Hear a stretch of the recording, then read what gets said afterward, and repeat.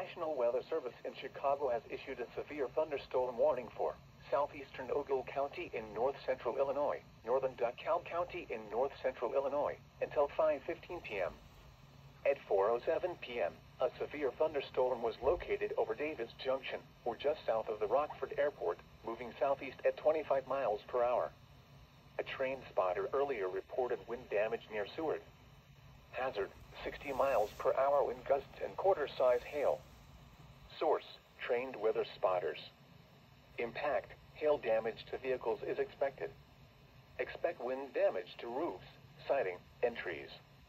Locations impacted include DeKalb, Sycamore, Rochelle, Genoa, Cortland, Kirkland, Hillcrest, Maple Park, Kingston, Malta, Creston, Lindenwood, Monroe Center, Fairdale, and Kings.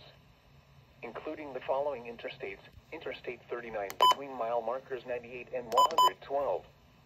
Interstate 88 between mile markers 79 and 101. This includes Northern Illinois University. For your protection, move to an interior room on the lowest floor of a building.